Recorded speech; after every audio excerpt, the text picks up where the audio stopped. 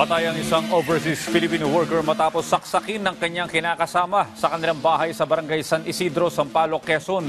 Ayon sa mga pulis, nagkasagutan ang sospek at biktima bandang alas 3.30 ng madaling araw noong September 8. At sa kainitan ng kanilang pagtatalo, kumuha ng kutsilyo ang sospek at pinagsasaksak ang biktima. Nakatakdasa ng umalis ng bansa ang biktima isang araw bago mangyari ang insidente.